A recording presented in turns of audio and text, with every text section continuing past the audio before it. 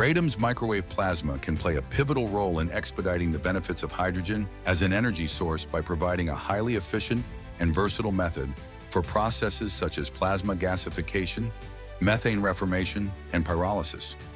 Our plasma's ability to operate at high temperatures and efficiently utilize the energy makes the plasma an innovative tool for hydrogen production and hydrogen energy storage.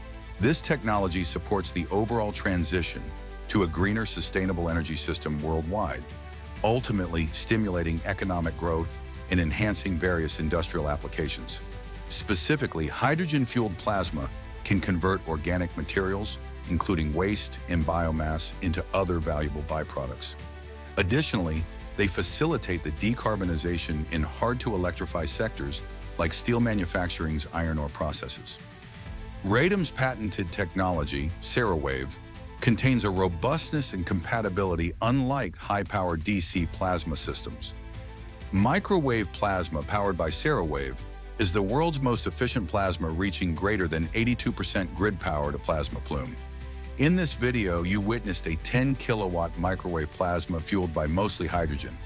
Purely hydrogen-powered plasma is within our reach. Stay tuned to witness the breakthrough with us and visit our website in the description to learn more. Like, subscribe, and comment on this video to let us know you're just as excited about it as we are. Thanks for watching, and we'll see you in the next one. With CeraWave.